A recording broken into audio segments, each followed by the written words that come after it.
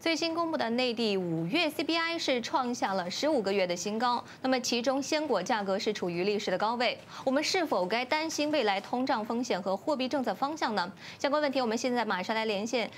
前海开源基金首席经济学家杨德龙先生。杨先生您好。你好。嗯，有人预测说五月的 CPI 可能是今年的一个高点了，所以想请问一下，您觉得未来的经济会不会出现一个通胀大幅上行的局面？货币宽松会不会持续？那么财政政策方面会不会更加的积极呢？五月份 CPI 呢，百分之二点七，已经连续三个月在百分之二以上，但是还没有到百分之三的这个通胀目标。呃，百分之三以下的通胀呢，都属于良性通胀。那么从原因来看的话呢？主要是由于食品价格的上涨，呃，五月份食品价格同比上涨百分之七点七，呃，特别是鲜果的价格上涨了百分之二十六点五，而猪肉价格呢上涨也超过百分之十八，这是导致呢，呃，CPI 上涨的最主要的因素。那么从 PPI 来看，PPI 在五月份只有百分之零点六，和上个月相比回落了零点三个百分点，那是这说明工业呃需求呢并不高。呃，主要是由于食品价格上涨带来的这个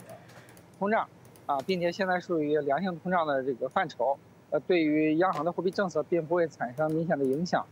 上周美联储释放出可能会降息的预期，呃，这对于全球央行来说呢，都打开了一个货币宽松的空间，甚至有可能引发全球央行降息潮。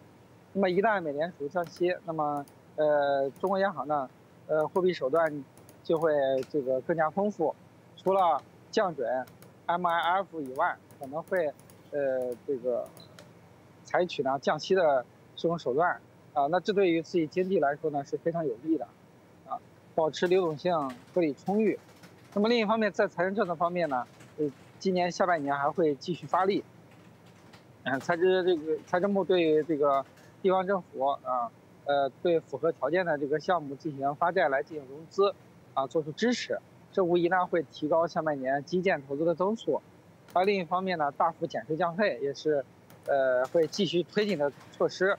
那么在消费方面，呃，那么这个近期出台的关于，呃，鼓励消费的政策，啊，促进呢汽车家电的销售，取消对于新能源汽车的限购措施等等，那么这些都有利于呢，呃，这个拉动内需，稳定增长，来应对呢外部的压力。嗯，主持人。